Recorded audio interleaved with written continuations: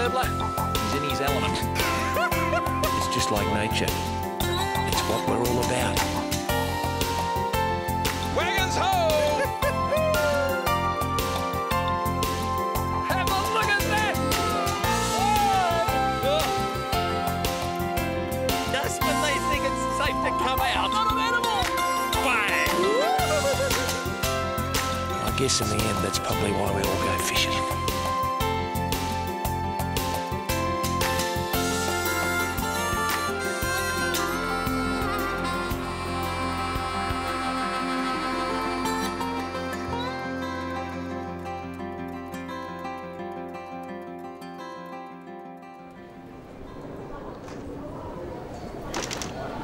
Good morning, sir. Rex Hunt. Greg Hunt. Greg Hunt. Haven't seen you in the family tree. I tell you what, it's nice to see you. Where are you off to today, Mr. Hunt? We're going to King Island in the middle of Bass Strait for some serious fishing. King Island. And uh, how many bags have you got, Mr. Hunt? 54. 54? Okay, I'll uh, check you in. How many days are you going for? Uh, a day and a half. A Day and a half. Okay, well, I'll start checking you in. And Greg, can I just tell you, we're travelling light.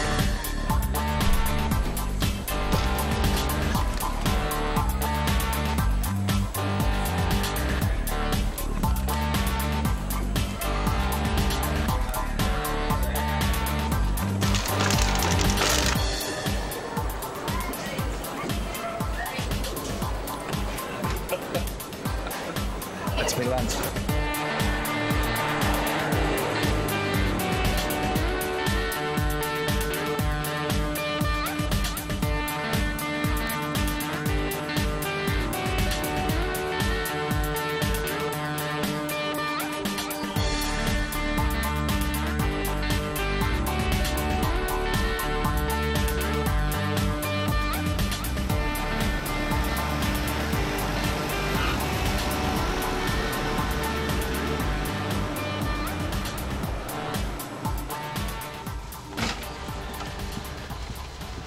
Patrick, that was a magnificent flight aboard the famous Rex Airlines, mate. Welcome to King Island, Rex. A couple of firsts today for me.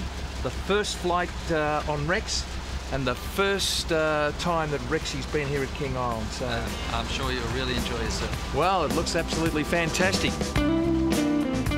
King Island has certainly come a long way since Captain Dedford first sighted the island in 1797. About 1,400 people call King Island home, and the majority of them live in or around the main town of Currie. But it's food that King Island is renowned for. From the magnificent array of cheeses that the King Island dairy produces to some of the best beef I have ever consumed, folks. And finally, its bounty from the sea the rock lobster or crayfish, and not forgetting the local sea elephant oysters. One of the island's biggest exports is kelp, bull kelp, in fact. It is harvested off the beaches, then air dried for two weeks on these racks. It is then broken down and dried for four hours in this huge dryer, granulated at the other end, and shipped overseas for further processing.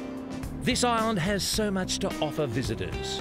From its pristine beaches and lagoons, surfing, bushwalking, diving, golf, and yes, of course, folks, fishing, just to name a few.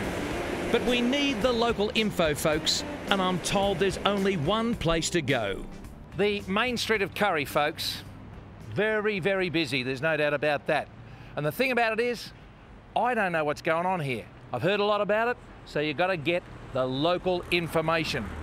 These people say the Perry's is the hub and hive of information on the island, and they've got everything you might need in their shop. I might check them out.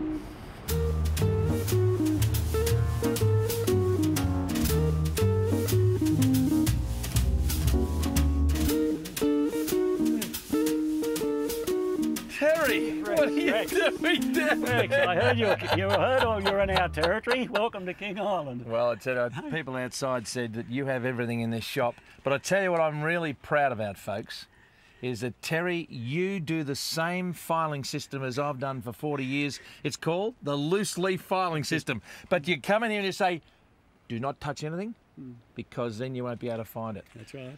Now, the lady across there who makes the best curried pies in Currie told me that you've got everything. We have. I can't We- believe uh, I can't believe have. in such a small. Well, it's like a rabbit warren. Can I test you out? You can test me out, Rex. Yes. Uh, chainsaw. Chainsaw. Yes, we've got those. We've got those. Chainsaws. Chainsaws. Yes. I don't believe it. Can you show me your chainsaws, please? We can show you some chainsaws. Yes, we can.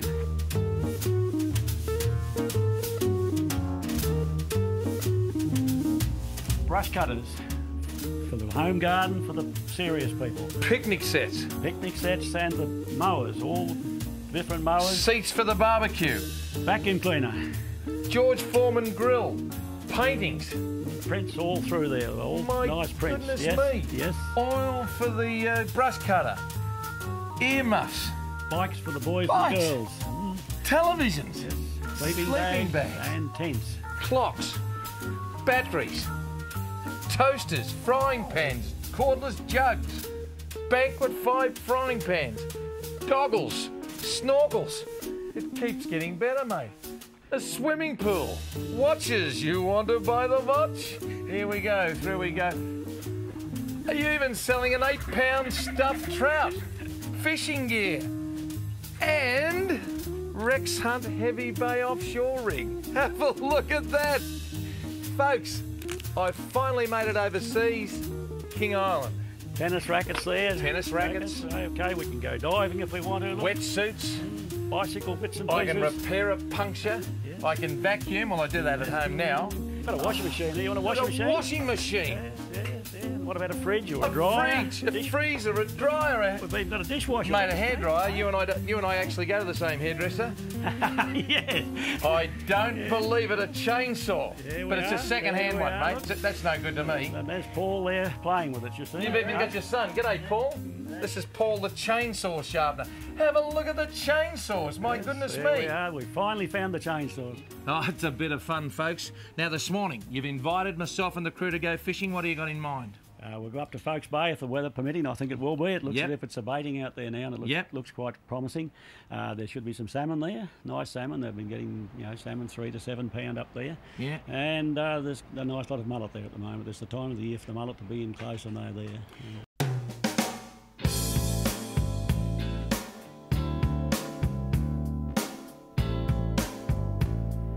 Tell you what, Terry, there's no shortage of wind on King Island. No, we're in a windy spot here, aren't we? That's right. Isn't this Right magnificent? it Open it. it? Ah, Well, Rex, Terry. there you are. There you are. Look, there's uh, some places have it on the notice boards. We have it on a mountain on King Island, and that's your welcome to King Island, and everyone's saying welcome. kiss me, Rex. How about that? That's fantastic. How about that? Now that looks okay to me, folks. Yes, there it is, Rex. There it is. Magnificent. Well, folks, this is Phoques's Bay on the western seaboard of King Island, in the middle of Bass Strait, about in line with, say, Skenes Creek or Apollo Bay on the Victorian southern coast. So you know where we are now? If I was going to make the decision, mate, that is our hole. We'll go with you on that one. That's our hole, folks.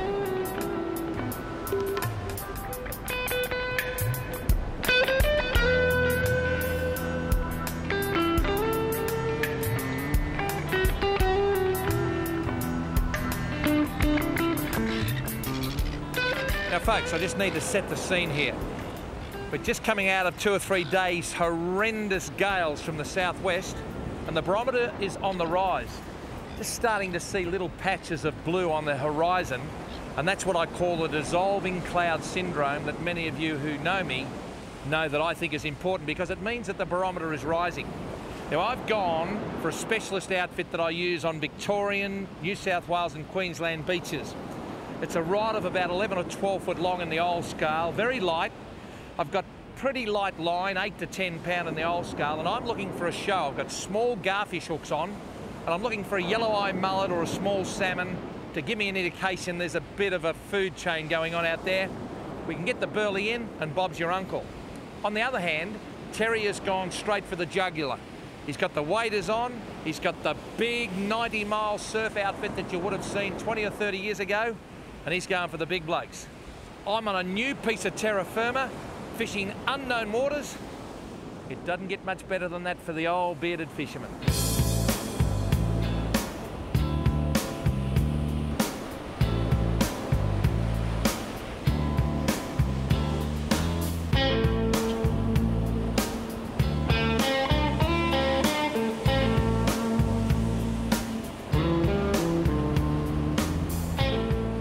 I think a lot of people around the world dismiss a fishing area saying there's nothing here. Your eyes are a very good indication of what's happening from your perspective, but the best set of eyes has got feather around them. Now, there's two or three terns and seagulls here that have come in and are starting to look. Now, as soon as those types of birds accumulate over the top of a hole and get very, very agitated or very excited, we'll know something's happening. There it comes. Look at that. That's a good start, Terry. That's a lovely mullet. That's a mullet, yes, that's a mullet. Now, do you usually get them before you get a salmon? They run together, yes. They they run do. together? They do, yes. The Oh, yellow eye mullet. My goodness gracious me, I just had a bit of tougher. You got a bite? That's it. a- Oh, he has. Look I had a this. Look at bite just then. I tell you what, I tell you what, you learn every time I was winding in to check my bait. Terry just says, oh, I've got a little bit of a mullet here. I reckon that was no more, oh, gee whiz, no more than 15 to 20 metres out there. Michael will show you. Out there, that's where that wave is. That is where I had my rod. Now, something has grabbed it and it looks like to me it may well, it was a salmon. When I say it was a salmon, it jumped out of the water and went back in, so he is well and truly hooked. It's not a bad salmon either. Now have a look at that rod. Now that rod is designed to take the shock of that fish. And he is him break the surface. just swimming, Terry. He is swimming beautifully. Look, up and against there. And, oh, it's a nice salmon. It is a beautiful salmon. Now I'm gonna just bring him in there now and bring him towards me. And here he comes. That's a good effort, that one, Rex. That's a good effort. Oh, look at that. Look at How that. about that, mate? That is My a word. nice looking salmon. It is so, isn't it? Now at Phoques Yes. Bay, would that be an average salmon? Yes, it would. Oh, at this time of the year, yes. I reckon Yes. he's, what, two and a half, nearly three pound in the old About- about scale. Three pound, I'd say, yes. So He's a nice looking fish, For a it? summer mm. salmon mm. on a beach in the middle of Bass Strait, I reckon that's okay. It is. Now, They put up a good fight, don't they? I saw a sign in a paddock on the way down here. And you know what it said? Kiss me, Rex. Yes. No, no, we won't do that. I'll tell you what, I'll kiss it for you. And I'll put him go. back into Western Bass Strait. That's not a bad start, is it? So our burley is starting to work. A little bit of bread from the bakery, a little bit of tuna oil just mixed up with a few pellets. He gets a mullet, Terry, and we get an Australian salmon. Beautiful Australian salmon. This is the eastern subspecies, and they'll lose their spots and become almost black in the back. And if you go into a pub anywhere along the east coast of Australia, they'll talk about the black-back salmon. This bloke's a speckledy uh, back at the moment, but what a nice fish. See you later, mate. And away he goes.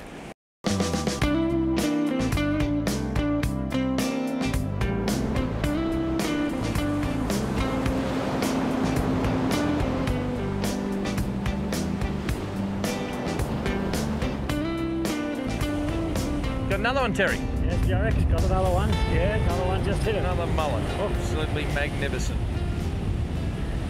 You know, pull him in, mate. I got a uh, a lot of respect for these fish because I think so many people in Australia catch mullet and bream and get hooked on fishing. Yes. Now they're a beautiful, beautiful, clean fish. And you see there, he's lovely and silver. He's got beautiful yellow eyes, and he's a lucky fish. Because I can tell you what, the whole Perry family loves eating mullet. And you ate your first mullet here in 1937. Probably, yes. I'll get him back, mate. I'll get him back first. Okay, get him back while alive. You came here when you were still sucking on a dummy, so I suppose you can re- be referred to as a local. Just about. Just about. You call this island home. Yes. It is a unique place in the world, and so few people know about it. That's right. Why? Mm. I don't know why, really. Uh, I suppose means of getting here Yeah. would be one of the things. Yeah. Uh, they can't hop on a boat with their car and this sort No, of they thing. can't, yeah. They've got to hop. Send if they do send their car it has to come on a boat, and then they have to hop on a plane. Well, mate, I, I did the right thing, and I'm trying to get the whole joint going. I bought my airline here for you, mate. That's Rex. good. Mm, So mm, that's good. That's fantastic, good. Yes, it is. Mate, you are a legend. You mind going catching another fish? Try. He's try. not bad, folks. 1937.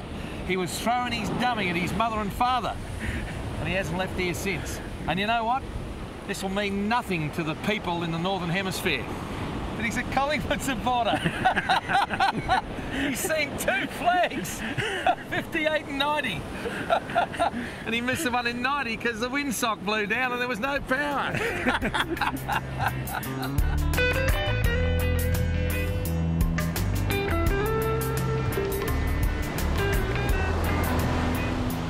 That's a blue bait.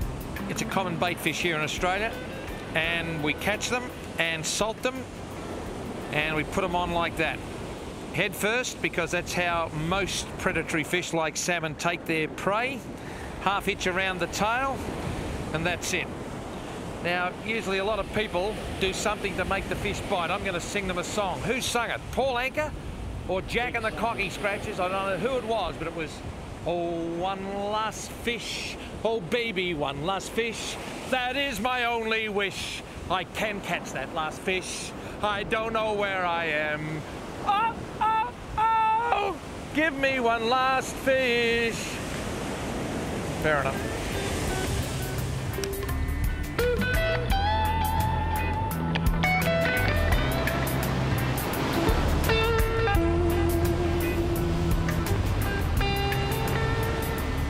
Got, Terry? I've got a crab, Rex. That's, A crab? That's, that's it, yes. Uh, What do you mean that's it? That's it. The uh, the fish move on, uh, waiting for the sharks to come and get them. I tell you what, I learnt that a long time ago along the 90 mile beach. I think you and I both had hair in those days. that when the crabs were there, the fish weren't because the fish eat the crabs and particularly the gummy sharks. That's a sand crab. It is, There's a sand crab there, folks. Have a look at that. Now he's going to grow a lot bigger than that because the sand crabs do grow a lot bigger. But just had a bit of a bite there too. I tell you what, I've got a fish. You wouldn't read There he about is, it. There he is, Rex. Now- got one. Yep. Now I've got, Oh, actually got, got two, two. fish. I've got two fish. Just hold that, thanks, Terry. Right, got it. Now, these are yellow eye mullet, and Terry said as soon as the sun comes out, and the sun is trying to come out here, there you go, mate, and we'll give your mate a bit of a kiss, hey? Look at that beautiful, beautiful fish. Now, the yellow eye mullet, he's everywhere, particularly all over Australia, and he is the pork of the sea. He's like a vacuum cleaner. He sifts through all the sand and he gets all the nourishment out of it. And the best thing is when you clean them, get that black bit out of the lining of the stomach, and they are fantastic. Uh, quite good out of the ocean. One People say, oh, I wouldn't eat a mullet. The fact is they haven't prepared it properly. Right. I'm going to put that fish back, and away he goes, and look at him back into Western Bass Strait. I'll tell you what, Terry, it has been an absolute pleasure for me to come down here to Phoques Bay, and seeing that I talk a lot to the folks down that camera, if it's Phoques Bay, the folks can come here. That's right. Yes. And do yourself a favour, folks. Go to Dorothy and Terry Perry's uh, shop and spend a week there, and you still won't find what you want. but it's marvellous. It's sensational, mate. You are a star. Thanks, Thanks for being Thank on you. Rexy's show. And thanks to everyone at King Island. You lovely people.